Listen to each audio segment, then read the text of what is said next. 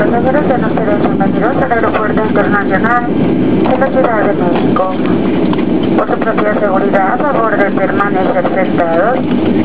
Hasta que el avión y motores se hayan detenido por completo frente al edificio terminal y el capitán haya apagado el letrero de abrochar sus cinturones. En nombre de Apex, el capitán Aguilar y su tripulación.